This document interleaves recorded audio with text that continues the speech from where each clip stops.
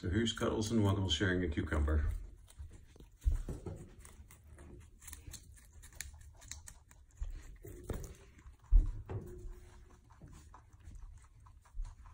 You certainly do appear to like it. Mm-hmm.